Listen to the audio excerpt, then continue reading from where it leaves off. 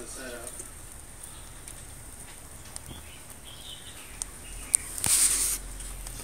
And uh, understand uh, that the guy that's making these is uh, making a little pot stand.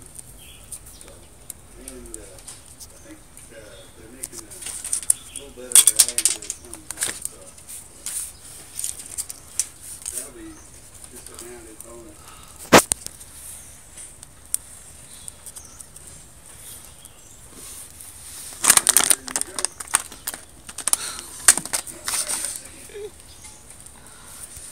Show you guys up close, so you can see.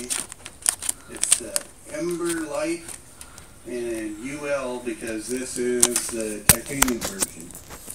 And uh, like I say, I'll, I'll know the weight. It just locks together. It's really simple.